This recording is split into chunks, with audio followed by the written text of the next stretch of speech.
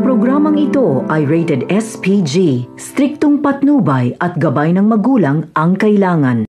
Mabilis ngang nakabalik ng Maynila sila Ali kasama si Lolo Sir.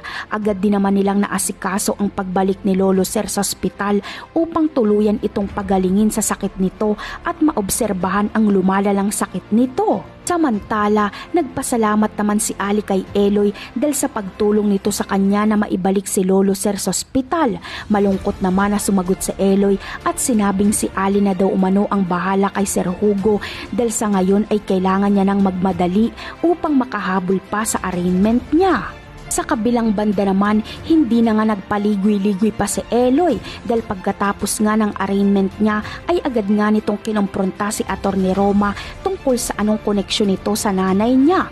Pagkatapos nun ay sa pag-uwi nga ni Eloy ay dito nga siya nabigla dahil nakalabas na pala ang tatay niyang si Fred. Todo iyak nga sila dahil sa tuwa.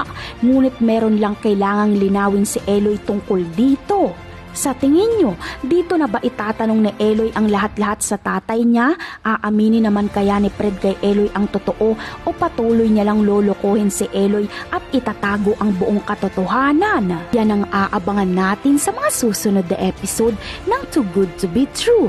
Bye!